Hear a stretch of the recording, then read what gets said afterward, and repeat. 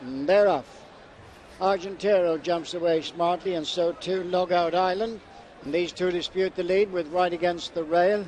Holding his position is Rockaway Valley, but in the early stages, Logout Island and William Buick show in the lead, being followed now by Painted Cliffs, and just after them Argentero with on the inside is Rockaway Valley. The back marker in the early stages is Safar as they race on now to the three mark on the stand side. Logout Island showing in front of the Painted Cliffs in second.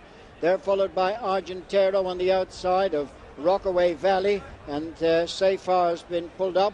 Racing now towards the final furlong and a half. On the stand side is Logout Island with Painted Cliffs right up on the outside. They're followed by Argentero and Rockaway Valley. Painted Cliffs now comes there on the outside to pick it up for Ryan Moore from Logout Island and Rockaway Valley and Argentero and running well inside the last 200 now. It's Painted Cliffs out in front being chased in second place by Rockaway Valley on the outside. But running up to the finish, it's Painted Cliffs and Ryan Moore will win it by three. Rockaway Valley, Logout Island, and Argentero